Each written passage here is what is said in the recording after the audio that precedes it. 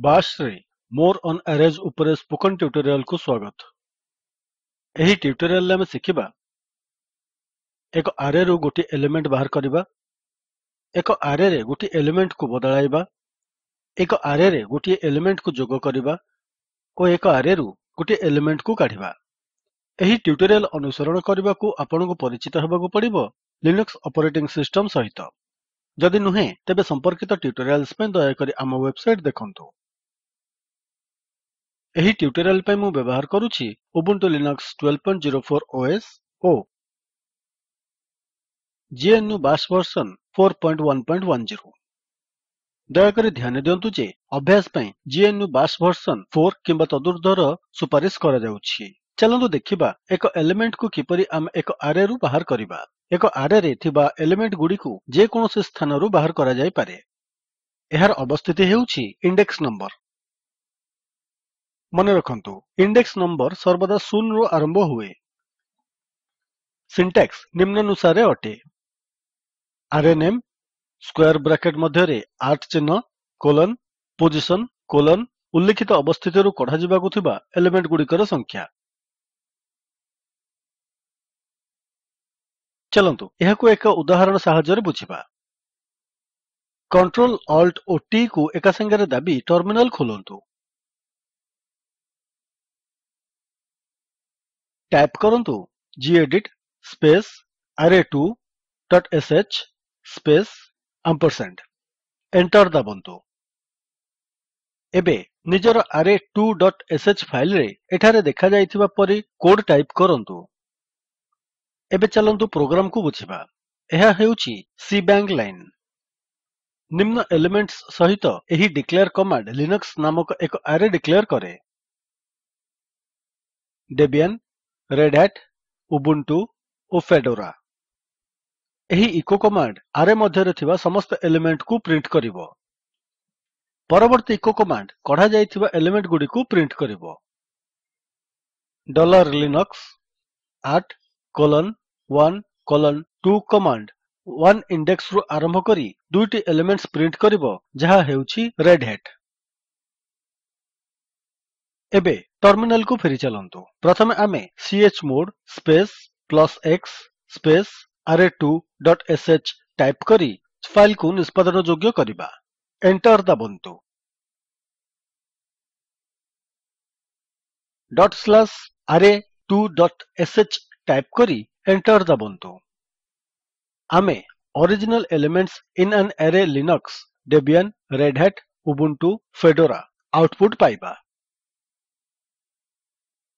ଦୁଇଟି ଏଲିମେଣ୍ଟ ଯାହା index 1 Red ରୁ ଆରମ୍ଭ ରେଡ୍ ଓ ଉବୁଣ୍ଟୁ ଆମେ ସ୍ଲାଇଡ୍ସ କୁ ଫେରିଯିବା ଗୋଟିଏ ଆରେରେ ଏକ ଏଲିମେଣ୍ଟକୁ କିପରି ବଦଳାଯାଏ ଦେଖିବା। ନିମ୍ନଲିଖିତ ସିଣ୍ଟାକ୍ସ ବ୍ୟବହାର କରି ଏକ ଆରେରେ ଥିବା ଏକ ଏଲିମେଣ୍ଟକୁ ବଦଳାଇ ହେବ। ଆରେ ନେମ୍ ସ୍କ୍ୱେର୍ ବ୍ରାକେଟ୍ ମଧ୍ୟରେ n equal to single quotes ମଧ୍ୟରେ ନ୍ୟୁ ୱର୍ଡ ଏଠାରେ n ହେଉଛି ଇଣ୍ଡେକ୍ସ ନମ୍ବର ବା ଏଲିମେଣ୍ଟ ନମ୍ବର ଟେକ୍ସଟ୍ ଏଡିଟର୍ କୁ ଫେରିଆସନ୍ତୁ ଲିନକ୍ସ 2 ଇକ୍ୱାଲ୍ସ ଟୁ ମେଣ୍ଡ୍ରିଭା ଏହି କମାଣ୍ଡ୍ ତୃତୀୟ ଏଲିମେଣ୍ଟ ଉବୁଣ୍ଟୁକୁ ମେଣ୍ଡ୍ରିଭା ସହିତ ବଦଳାଇ ଦେବ। ଏହି ଇକୋ କମାଣ୍ଡ୍ ବଦଳ ପରେ ଲିନକ୍ସ ଆରେରେ ଥିବା ସମସ୍ତ ଏଲିମେଣ୍ଟକୁ ପ୍ରଦର୍ଶିତ କରିବ। ଟର୍ମିନାଲ୍ କୁ ଫେରିଚାଲନ୍ତୁ ଆମେ ଆଉଥରେ ନିଷ୍ପାଦନ କରିବା।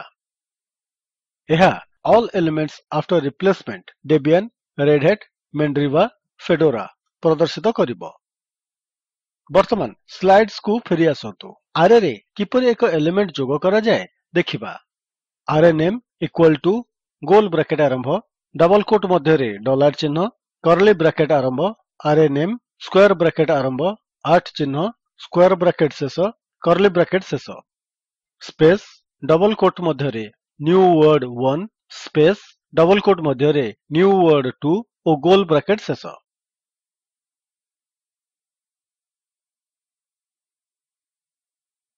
ଚାଲନ୍ତୁ ଏକ ଉଦାହରଣ ଦ୍ୱାରା ଏହାକୁ ବୁଝିବା।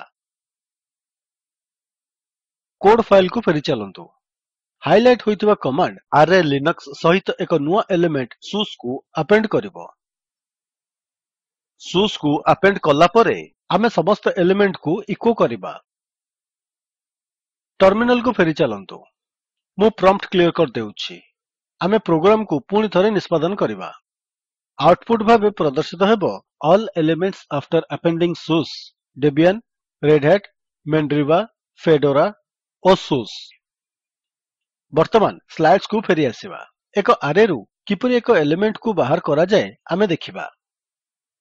ନିମ୍ନ ସିଣ୍ଟାକ୍ସ ବ୍ୟବହାର କରି ଏକ ଏଲିମେଣ୍ଟକୁ ଏକ ଆରେରୁ ବାହାର କରାଯାଇପାରିବ ଅନସେଟ୍ ସ୍ପେସ୍ ଆରଏନଏମ୍ ସ୍କ୍ୱେର୍ ବ୍ରାକେଟ୍ ଆରମ୍ଭ ଇଣ୍ଡେକ୍ସ ନମ୍ବର ସ୍କ୍ୱେର୍ ବ୍ରାକେଟ୍ ଶେଷ ଆମେ କୋଡ୍ ଫାଇଲ୍ କୁ ଫେରିବା। ଏଠାରେ ଆମେ ଅନସେଟ୍ କମାଣ୍ଡ୍ ବ୍ୟବହାର କରୁଛୁ। ଏବଂ ଆମେ ଲିନକ୍ସ ଆରେରେ ଥିବା ତୃତୀୟ ଏଲିମେଣ୍ଟ ମେଣ୍ଡ୍ରିଭାକୁ ବାହାର କରିଦେବା।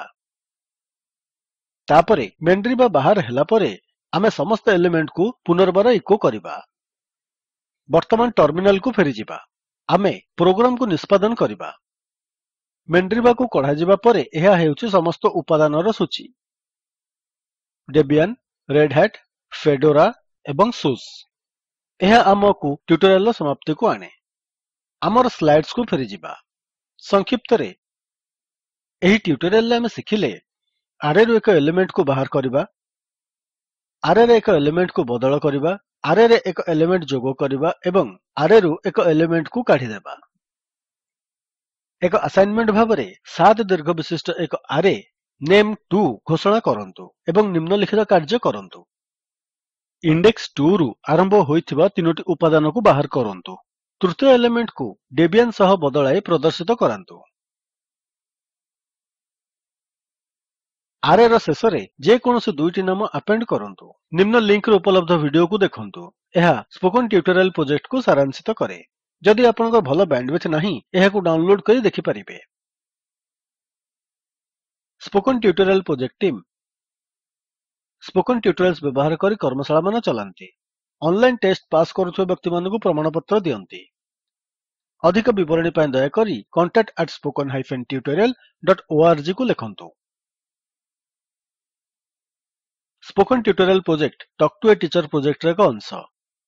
ଏହା ଭାରତ ସରକାରଙ୍କ MHRDର ଆଇସିଟି ମାଧ୍ୟମରେ ରାଷ୍ଟ୍ରୀୟ ସାକ୍ଷରତା ମିଶନ ଦ୍ୱାରା ସମର୍ଥିତ।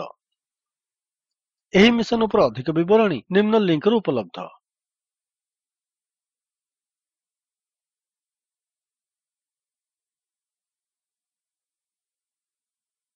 ଆଇଆଇଟି ବମ୍ବେ ତରଫରୁ ମୁଁ ପ୍ରଦୀପ ଚନ୍ଦ୍ର ମହାପାତ୍ର ଆପଣଙ୍କଠାରୁ ବିଦାୟ ନେଉଛି। ଆମ ସହିତ ଜଡ଼ିତ ହୋଇଥିବାରୁ धन्यवाद।